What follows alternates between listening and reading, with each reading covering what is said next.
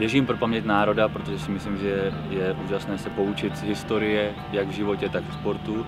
A proto bych chtěl, abyste podpořili běh pro paměť národa, protože je to úžasná věc.